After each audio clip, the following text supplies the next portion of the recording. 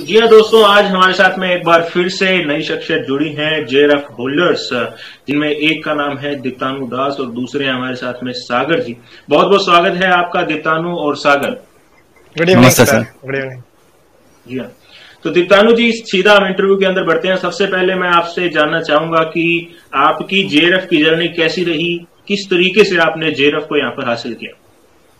Uh, sir, I would say that it was a pretty tough, you know, we had to prepare uh, for a long period of time and and I would like to say that this was not my first time. So previously I had given my exams, but uh, like even after giving two to three times, and I remember the last time I had missed JRF by two to three questions. So uh, I thought of giving up, but uh, then I again thought trying it for one more time. And this time I enrolled in uh, AB Guruji in your channel, and that helped me a lot uh, when it comes to paper one because your mode of teaching, uh, the discussion of the questions, that helped me a lot. And um, I would like to say that I had watched your videos, every single video, more than two to three times to uh, familiar myself with, to familiarize myself with um, the topics. So that helped me a lot when it comes to paper one. And in case of paper two, again, I finished all the, uh, I, re- I finished reading all the chapters, uh, the, all the topics, and I started revising. So that helped me a lot too. So this was my small journey to JRF. Yeah, that's a very interesting journey. You didn't give up. That's the big thing. That's the main thing to for the students to know that uh, if you're giving up on yeah. a single failure, then you won't achieve uh, much bigger. That's good. Yes. In, in fact, some of my friends did give up, but I thought of giving it one more try, and uh, it turned out to be pretty good.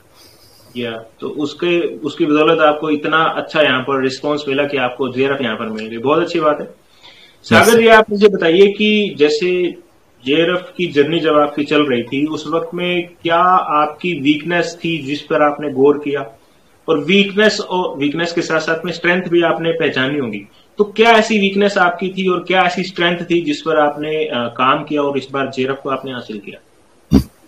Ji sir मेरा जो weakness था वो paper one था और जो मेरा strength था वो पेपर टू था। बट मेरे को इतना समझ में आ गया था कि अगर आपको क्रैक करना है जेआरएफ लाना है। पर बता दें। जी सर?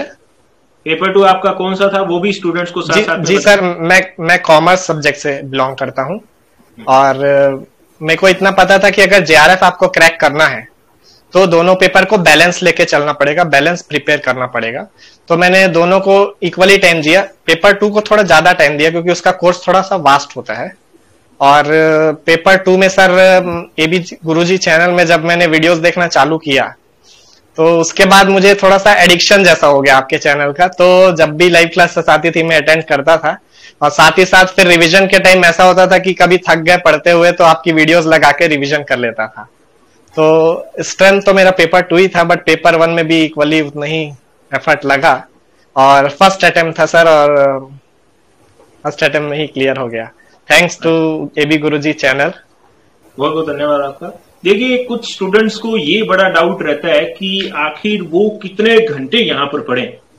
कितने आवर्स की स्टडी एक्चुअल में वो करें? ये क्वेश्चन काफ़ी जनरल हमारे पास में आता है। हालाँकि इसको लेकर हम स्टूडेंट्स को गाइड भी करते हैं कि आखिरकार जो है वो स्टूडेंट की प्रोडक्टिविटी पर डिपेंड करते हैं कि एक घंटे के अंदर वो कितना पढ़ सकता है। स्टूडेंट की खुद की उसके अंदर पावर होती है। तो ऐसे में आप उसमें किस तरीके से स्टूडेंट्स को गाइड करना चाहते हैं? दीतानु जी, आपसे मैं इस बारे में जानना चाहूँगा। Um, sir, um, I think, as you have said, it uh, particularly depends upon the strength of the student. But for me, uh, I had studied for around uh, four to five hours daily. So, if I think if some like for me, I was also engaged in my PhD uh, PhD thesis. So, with that, I could manage only four to five hours, not more than that, every day. So, if if even if somebody is able to manage three to four hours, but they completely dedicate those three to four hours for their preparation of uh, both uh, paper one and paper two, I think that should be enough. Uh, but for me, I had studied not more than four to five hours because I did not have the time uh, because I had to also work. I had to work on my thesis and I sometimes give private tuition and because of that, I couldn't find much time. And as I've said previously, sir, I, I used to watch your recorded videos and I would also like to thank you for allowing me to watch those videos because I couldn't find time anywhere else. So thank you, uh, thank you a lot for that. And, uh, and obviously, I think again, as you have said, it depends upon the strengths of the students themselves. But I think uh, four to five hours every day would, uh, for for two to three months, would be uh, would be enough. That is what my opinion is. Okay, so here is the main thing that comes out from your speech is time management is the main thing here. You were doing PhD as well as JRF preparation. So you manage time and get enough time of four to five hours to study for the JR that's a main thing तो time management जो है वो students को सीखना पड़ेगा बहुत अच्छी बात यहाँ पर आपने कही सागर जी मैं आपसे यहाँ पर जानना चाहता हूँ कि आप मुझे ये बताइए कि एग्ज़ाम को पास करने के लिए बुक्स को लेकर बहुत स्टूडेंट पूछते हैं कि आखिर कौन सी बुक पढ़े? क्योंकि मार्केट के अंदर जब यूजीसी नेट टाइप होता है तो बहुत सारी बुक्स जो है वो आ जाती है। तो आप बुक के बारे में क्या स्टूडेंट को गाइड करना चाहते हैं? कैसी बुक है जो जेरफ दिलाती है और कौन सी बुक है जो नेट तक ही रखती है और कौन सी बुक है जो नेट और जेरफ कुछ भी नहीं दिला पाती? आपका इसके बारे में क्या कहना है? मैंने हालाँकि बैच के अंदर इसके बारे में विस्तार से चर्चा की है बट मैं चाहता हूँ आप जिसने इस अटेम्प्ट के अंदर जेरफ हासिल की है उसका क्या विचार है? वो स्टूडेंट तक पहुँचे। जी हाँ।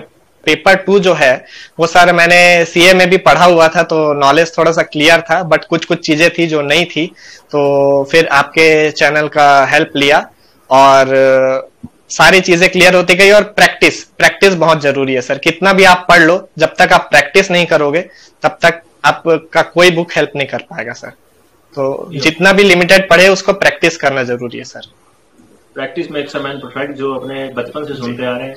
वो यहाँ पर आज और उसने जेरफ यहाँ पर दिलाई। बहुत अच्छी बात है यहाँ पर। कोरोना पेंडेमिक में इस बार जो है वो मेंटली स्टूडेंट जो है वो बड़ा डाउन हो गया था। यहाँ पर आप दोनों स्टूडेंट्स के विचार में जानना चाहता हूँ कि इतनी लंबी जर्नी हो गई थी।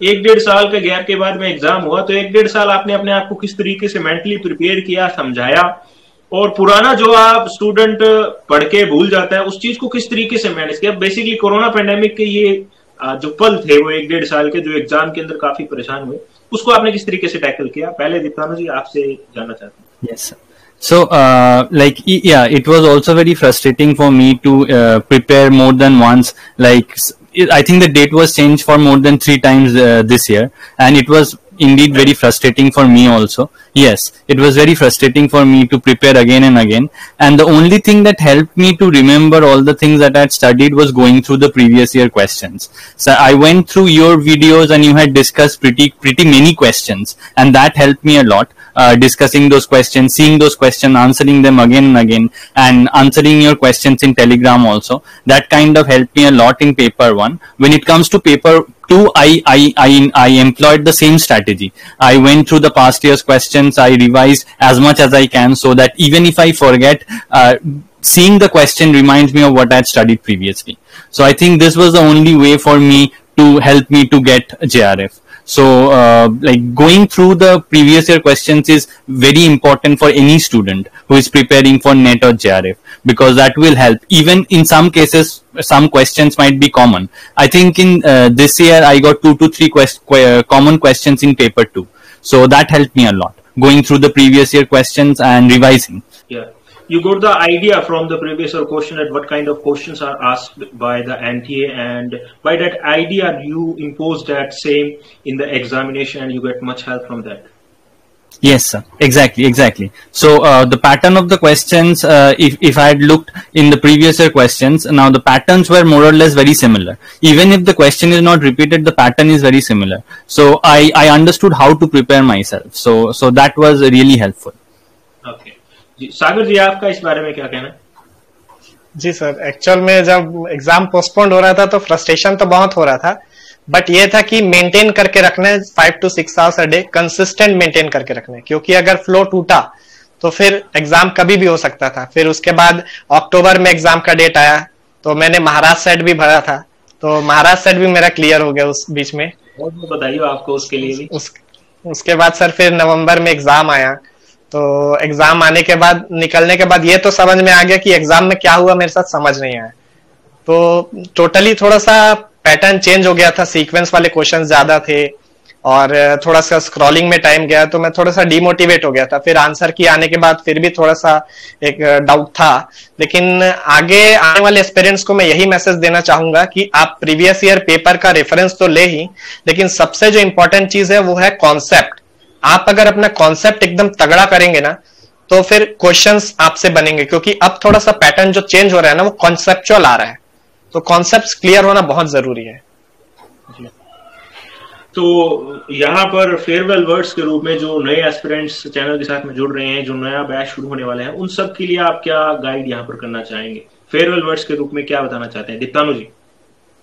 Yes, sir. Uh, I would like to. Um, I would like to suggest that all of the students should uh, first, as as my friend said, as Sagar said, should understand their concept. So the very first point is finishing or everything that is in the topic. So finish everything, and after you have finished, there might be a tendency for you to forget. In order to remember, you should go through the previous year question papers. You should go the model question papers, and that will help you a lot because it's not possible to read again and again all the time. So once you have read, go through the questions, go through the model questions, go through the previous year questions, and that will help you a lot. So, and, and I wish all of you uh, achieve your dreams, anybody who is listening to this video. So, as see, seeing and listening to this video. So, all the best for everybody.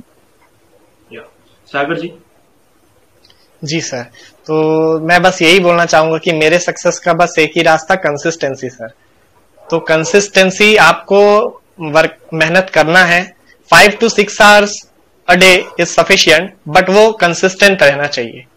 और बस यही बोलूँगा कि सबसे पहले अगर आपको reference लेना ज़रूरी, किसी भी एग्ज़ाम को क्रैक करने के लिए, सबसे पहले डिमांड क्या कर रहा है एग्ज़ाम वो पता करना ज़रूरी है। तो उसके लिए आप पहले प्रीवियस ईयर क्वेश्चंस का रेफरेंस ले। उसके बाद अपने कॉन्सेप्ट को अच्छे से पूरा विजुअलाइज करे, पूरा अच्छे से कॉन्सेप्ट समझे, फिर उसके बाद आप क्वेश्चंस प्रैक्टिस में जाए। फिर उसके बाद ये जो फ्लो है तीनों चीज़ों का, ये आप कंसिस्टेंटली करते रहे, आपको जेआरएफ लाने से कोई नहीं रोक सकता। जी। तो आपने बहुत खूबसूरत बातें स्टूडेंट के साथ में की हैं। मुझे उम्मीद है कि स्टूडेंट को बहुत कुछ इसके अंदर से सीखने को मिला होगा और वो अपने प्रिपरेशन के अंदर भी इन सब स्ट्रेटजीज को अपनाने की कोशिश करेंगे और इस बार जेआरएफ ज़रूर ज़रूर हासिल यहाँ पर करें। आप दोनों को हमारे साथ में जुड़ने के लिए बहुत बहुत धन्यवाद। जय Hind. Thank you very much sir